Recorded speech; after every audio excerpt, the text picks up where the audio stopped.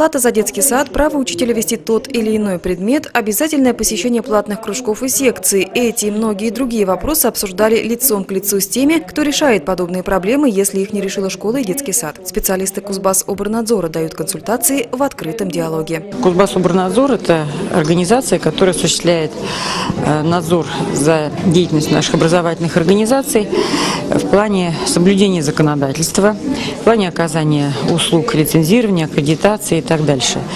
И наша задача сегодня вот, при организации таких встреч с родительской общественностью, э, во-первых, изучить ситуацию на местах, какие проблемы волнуют сегодня наших участников образовательного процесса. Важно, чтобы наши родители если мы говорим о государственно-общественной форме управления, тоже были не просто информированы, но и вооружены определенными знаниями, которые бы им помогали снимать какие-то острые моменты в отношениях, во взаимоотношениях со своими детьми, с педагогами. Жалобы и обращения родителей на сайт и телефоны Кузбасс Обернадзора – привычное дело, особенно когда в процедуру единого госэкзамена почти каждый год вносятся коррективы или сейчас, когда внедряются государственные образовательные стандарты. Причем вопросы возникают не только у родителей школьников, дошкольников, но и педагогов. Вы как воспитатель часто сталкиваетесь вот с родителями? Да, я часто сталкиваюсь с такими проблемами, поэтому было очень интересно а, поучаствовать в таком семинаре. С какими вопросами родители обращаются? Бывают конфликты, может, какие-то вопросы непонятности разные возникают?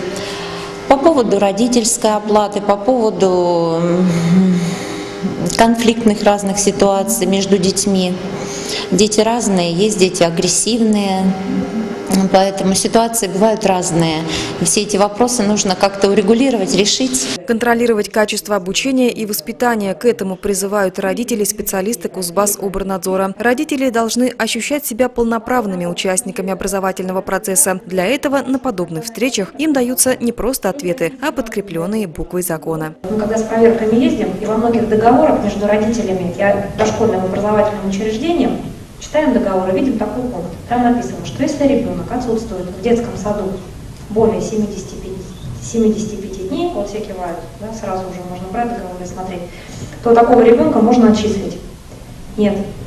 Значит, ни при каких условиях. У нас закон об образовании совершенно четко устанавливает основания для отчисления, э, для прекращения образовательных отношений. Первое – это по собственному желанию ну, обучающегося, либо родителей, если ребенок несовершеннолетний.